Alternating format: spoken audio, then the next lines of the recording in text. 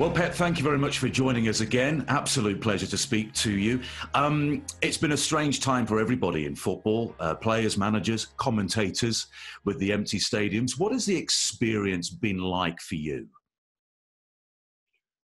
Well, it's a little bit weird to play without people. So, theatre, uh, shows, restaurants, and football sport is to do it for the people. So the cooker doesn't cook for himself, cook for the people. So when play without people, so it's a little weird, but yeah, just have to do it. And just concern, still concerned about the virus is a little bit maybe be weaker, but it's still there. Mm. And just uh, be careful. That is only concern I have in this period.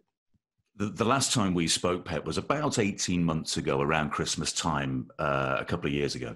Um, I asked you what you would change in football if you had the opportunity, and you said that you'd like to introduce NBA style timeouts.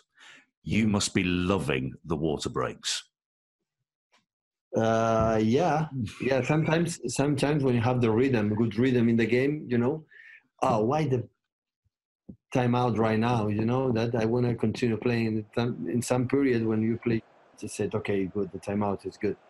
Yeah, but it's in, in that terms is is not bad but football is completely different game for the other one. So I think they did it for the lack of preparation. So we were locked down two months, two weeks, three weeks, no more than, than, than three weeks preparation and play games every three days. So this is uh, too risky for our players. And that's why they did, you know, a little bit the break to, to water and to do it. But I think when everything is going to be settled and the normal situations, the NBA football will be gone.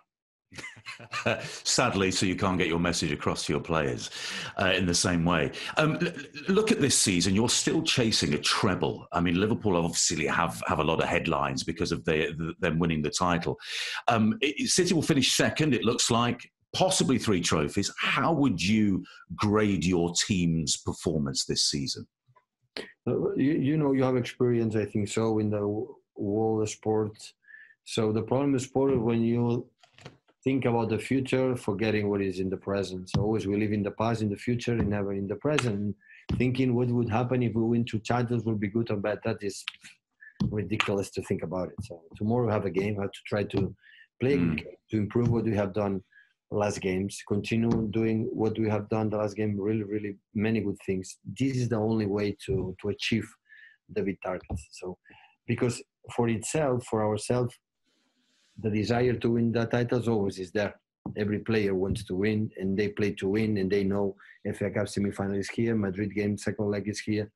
You don't have to tell them; they know it. But what do you have to do in the right moment, in the present, to win these games? This is on the what do we have to do. And after the end of the season, we'll be judged. We will judge ourselves in terms of performance and results. Mm.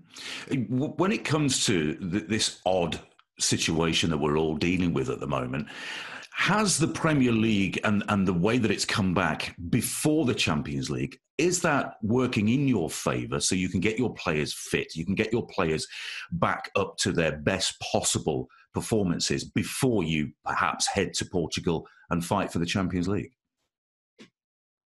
Yeah, I would say maybe yes or maybe not. So I don't know this kind of thing. I think I adapt I, I think the best way is, is what it is. You know, the situation is we have to play here in Porto. We have to play with these conditions, with the lack of preparation. Is what it is. So don't don't waste time in your mind, in your body, to thinking, oh, you would have if if if if we would have been here, we have been there. It's ridiculous. The greatest athletes I learned of them, looking at history and trajectory and what they have done, is the complaint is the worst uh, scenario we can we can face as a as a sport mm. guy. So uh, it's what it is, and now we have here in the Premier League. Oh, we can say okay, without Premier League is already done. We can win the Premier League now. We don't compete. It's lack of attention. It's lack of concentration. And after when we arrive in important games, we are out of the game. Mm. So try to do the best game as possible the next one. And when arrive Arsenal, arrive Madrid, we will see what happens. Okay. Um, in terms of off the field planning, uh, Liverpool, you set the standard. You, you, put together two of, or if not the two best seasons in the history of English football. Liverpool have responded. For, for the neutrals, it is wonderful to watch these two great teams, and there will be other teams next season challenging you as well. Where do you feel that you will prioritise in terms of strengthening to respond to Liverpool next season? We have to improve in our consistency. Our game in general was really good. Um, quite similar level of the previous seasons but our consistency and it doesn't matter which game we played in the Premier League away or home always we found the way to win these games. And this season the game was there. The example is last game like we conceded few we created incredible chances and we lost. And it happened many times. And when it happened many times so we have to reflect what is the reason why. Because like uh, like uh, everybody knows when there is two or three proofs it's already a reality and it happened many times with nine games lose before in the 18s or early 90s or early 20s maybe you can win the Premier League with 80 85 87 close 90 today mm. to win the Premier League you have to be above 90 points so mm. and losing nine games is impossible what happened with your consistency pep because that the last two seasons 100 points 98 points no team has ever been so consistent. So why the lack of consistency? Do you think? Because uh, because you uh, you have never seen in all the sports, well, except you have Michael Jordan, but mm-hmm. it's not the case. So you are not eternal to win all the games and all the seasons. So the human being change, and I change. The teams want to beat you. You have you won four titles last season, two Premier Leagues in a row and you want it, you want it, but maybe you want it in a little bit different way. And in this situation, the opposite want more, and and they beat you.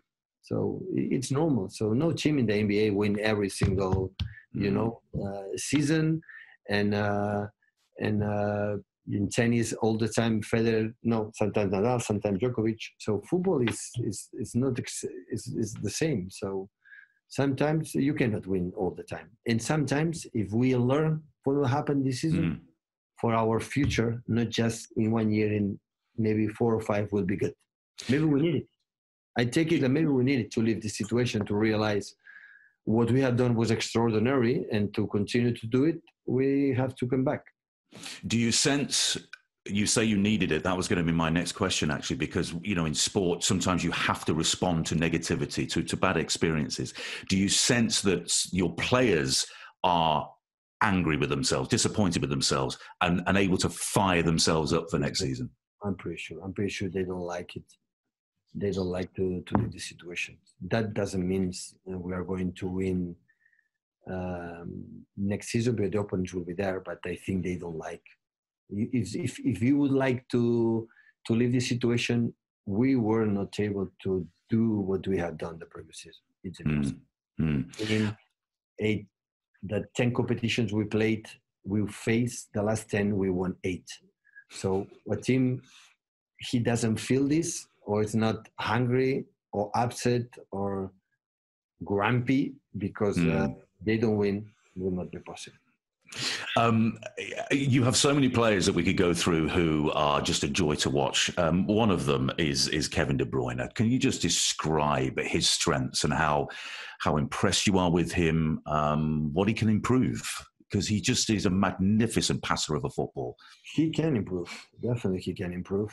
But he's an exceptional player. Yeah, he can do everything. He's a fighter and having incredible vision, especially forward. He's a guy who we have people in front of him to pass the ball, has the ability to do it. He's a good taker in all the sense, and is a really nice guy. Um, just finally, Pep, and we, again, we thank you for your time. Um, David Silva, could you pay tribute to him for Manchester City fans across the United States? What a joy he has been to watch over the last decade. He's a legend of this club. What he have done is he's the best role alongside maybe Iniesta is the player who moves better in the smaller spaces in the pockets like uh, anyone else in the world. He knows exactly.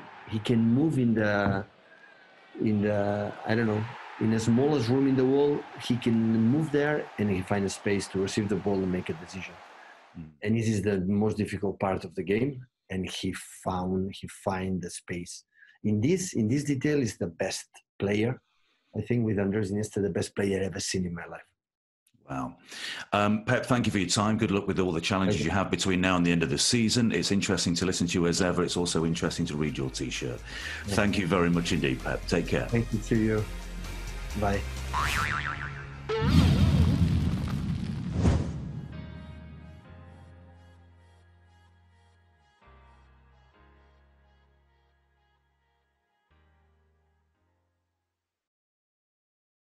Hi there, I'm Rebecca Lowe, studio host for NBC's coverage of the Premier League. Don't forget to hit subscribe to watch highlights all season long and tune in for Premier League mornings every weekend at 7am Eastern on NBCSN.